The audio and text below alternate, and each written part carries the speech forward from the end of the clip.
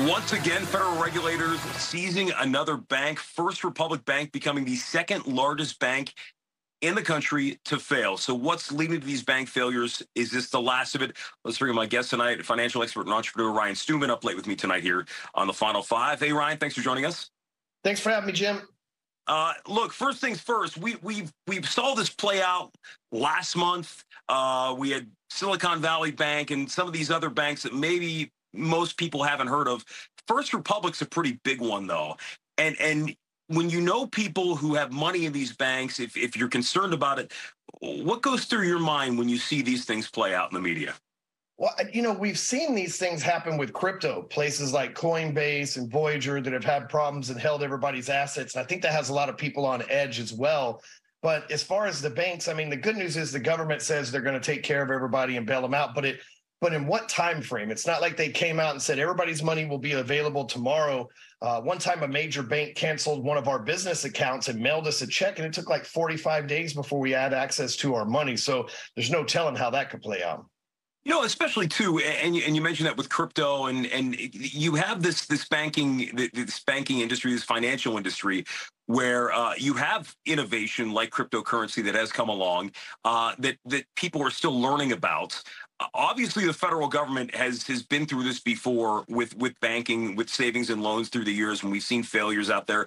They come in they find another bank like in this case chase is going to take over first republic and they're promising that everybody is going to be made whole. They're not going to lose anything along the way we have regulations we have laws in this country that really haven't evolved with the with the innovation and with the technology yeah, I agree. Uh, you know, there's been a lot of uh, high-end real estate investors that are wanting title companies to put the titles to properties on the blockchain and stuff like that. But you know, the other big problem is, you know, a lot of people are scared thinking these bank failures are around necessary are, are just around their deposits and money. It doesn't. The bank doesn't ever spend our money right? They leverage our money and then to usually to the tune of 10 times the leverage and go out and make loans. And really, the problem that the banks are having, like Old Republic, is the loans are, you know, the interest rates are three times as high as they were just a year and a half ago, uh, which means that you owe debt at a higher rate than maybe when you originally sell uh, originally sold that debt. Second most, the, the big wave of this hasn't even hit yet, Jim, because what's going to happen is, you know, typically when a home buyer gets approved for a home, they say, How much home can I buy? They don't come in. I, I was in mortgages for 10 years. Rarely did somebody come in with a budget. They always want the bank to set their budget. How much do you think I can afford?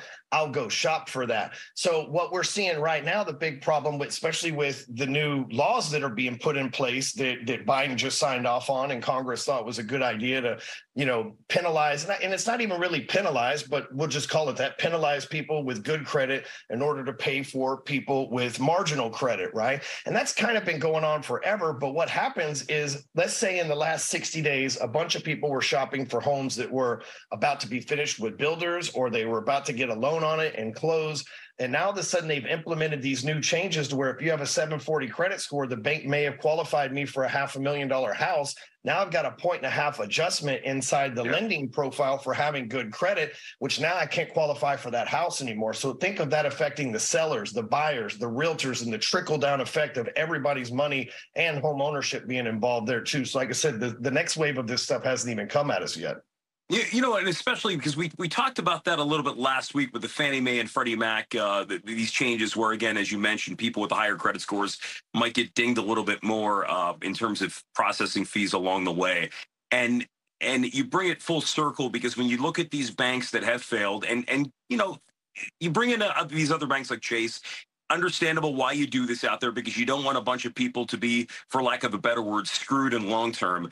But this is why a lot of people look at a system, and when you play by the rules as an everyday, whether you're an investor, whether you're a home buyer, whether you're just an everyday saver, you see other mistakes being made on much larger scales, and they're eventually made whole anyway.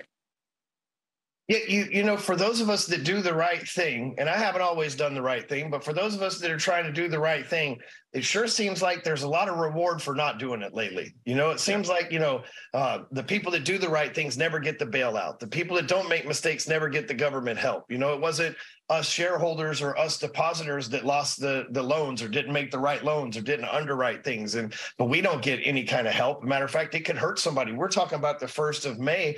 If republic bank isn't made whole in the next few days how many people are going to miss their rent their mortgage yeah. their car payment something of that nature you know?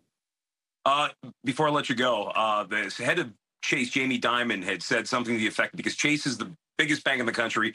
They're going to get even bigger through this. And they say, he said something effective. If you don't believe we need big banks, I want to talk to you. And I, I, per, I, perceive that as he wants to talk to the likes of Bernie Sanders and Elizabeth Warren who say, we got to break up these big banks along the way. Um, do you think people should be worried uh, right now? I mean, what, what's the best way you prepare for what could happen down the road? I, I I don't think you need to be worried about your money. I mean, after all, America loves printing this stuff. So worst case scenario, our government, I'm sure, would just print more to bail people out. That seems to be what they always do anyway. Um, and I'm not sure how I feel about a big bank or not. I personally do business with a small regional bank uh, or a medium-sized regional bank versus uh, someone like Chase or Bank of America. But at the same time, it's like, how big do they get until they say, oh, we've created our own currency now, whether it be crypto or central banking? We've talked about that for a while. And the United States has, has talked about that a lot lately, too, of maybe putting out their own crypto and stuff. But if you're the biggest bank and then all of a sudden you're in charge of that, seems like a lot of power and a lot of responsibility in people that have been traditionally irresponsible's hands, you know? Yeah. Ryan Stewman, hey, thanks for joining us tonight. We appreciate it. Absolutely. Thanks for having me on, Jim.